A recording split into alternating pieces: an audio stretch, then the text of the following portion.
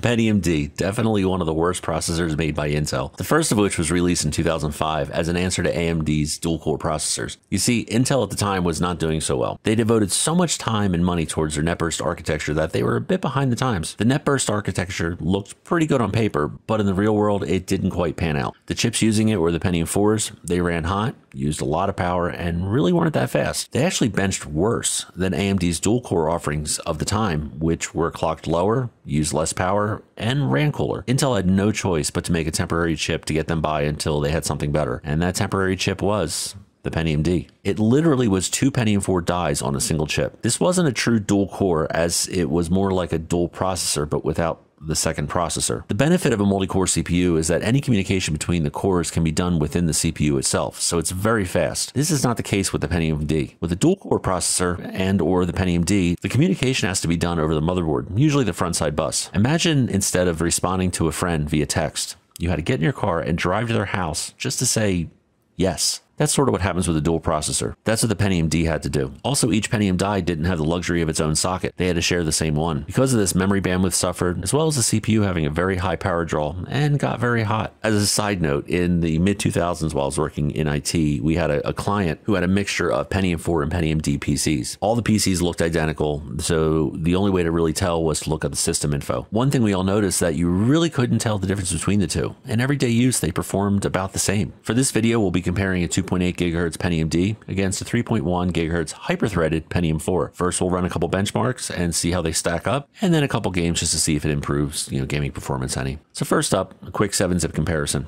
The results are very close, and it seems as though 7-zip uses both threads to compress a single file. This can be a problem because one thread will have to wait until the other has finished its task before they can both continue. Regardless, the Pentium D was about 19% faster. Next up, Cinebench. Cinebench does do a true multi-threaded benchmark, and as you can see, the Pentium D does pull ahead quite a bit. As far as time goes, it was about 53% faster, with a Cinebench score of 307, while the Pentium 4 score was 200. Now moving on to video encoding. I used Handbrake with the 1080p fast defaults, uh, using CPU CPU encoding only. These CPUs were never designed with H.264 encoding in mind, but regardless, the Pentium D finished first at 2 hours 10 minutes, while the Pentium 4 lagged behind at 3 hours 24 minutes. So the Pentium D was actually around 57% faster. As far as games, the first is GTA San Andreas, as it was out around the time of these processors. I played on both chips and chose this segment to show as an example. The Pentium D definitely had a higher frame rate, although not by much. The Pentium D frame rate also seemed to jump around quite a bit, and you would see frame rates bounce between 18 to 30 FPS, while the Pentium 4 was fairly consistent around 15 to 20, usually averaging around 18 FPS.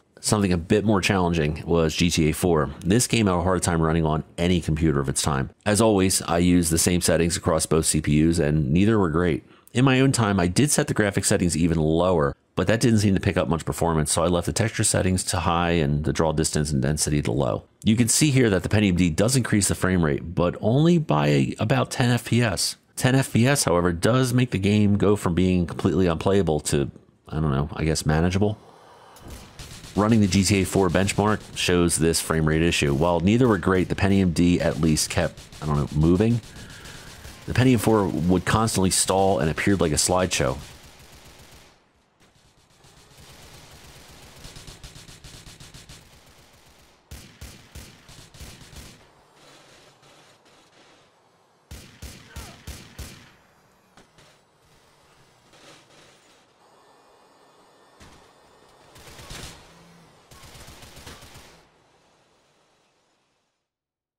The results show an average FPS of 10.5 for the Pentium D and 6.5 for the Pentium 4. GTA 5 on the Pentium 4 wouldn't even load. It just sat at the loading screen for well over an hour. I tried multiple times and I think it had something to do with the Rockstar game loader not fully loading or syncing. Regardless, the Pentium D did a lot better than I expected. It did take about 10 minutes to load the game, and but once it was loaded, it seemed decent. That was until I started moving around. The CPU just couldn't load objects and textures fast enough. As you can see in the distance, I think those things floating in the sky are supposed to be trees. Even though the frame rate is okay, all things considered, it seems to be somewhat playable. That is until you get into a car. The road and other objects just disappear, as again, the CPU just can't load them fast enough. The higher than expected frame rate, though, says less about the CPU and, and more about how well the designers and programmers built and optimized this game.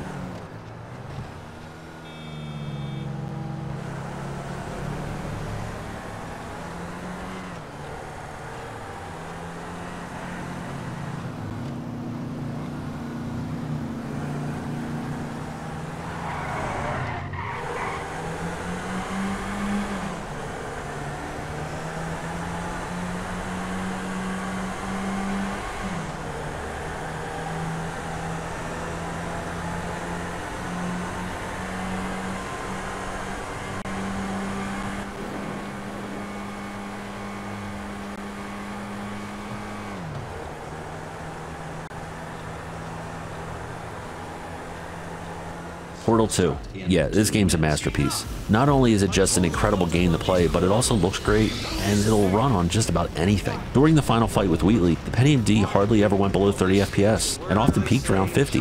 The Pentium 4 still very playable, often hanging around the mid 20s.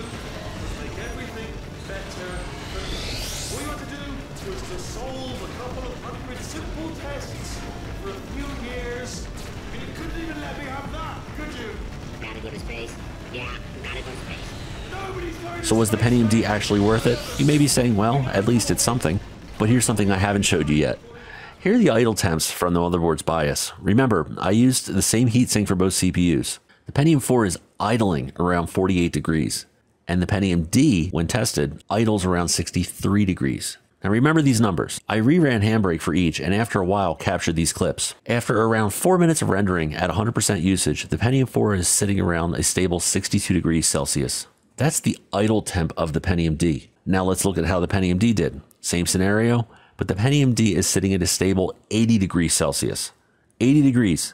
Now remember this motherboard is sitting on a bench with no restrictions and all the air it can get and it's reaching 80 degrees. Imagine putting this into a mid 2000s beige case with poor ventilation or a Dell Optiplex clamshell. Ugh. So it sounded good. A Pentium 4 with essentially a second processor on board, up to a 60% performance increase. Now, 60% isn't much, but hey, it's something. But then you look at all the drawbacks. Using about as much power as two AMD PCs of its time, and insanely high temperatures that will only get worse as the case fills up with dust. Oh, and all this and your computer would still be considered slower than its competition. Yeah, it was a dark time for Intel. I plan on putting these claims to the test and benchmarking this CPU against AMD's offerings of its time in future videos, as well as many other comparisons. So if you've made it this far, I thank you for watching and remember to like and subscribe, and I'll see you next time.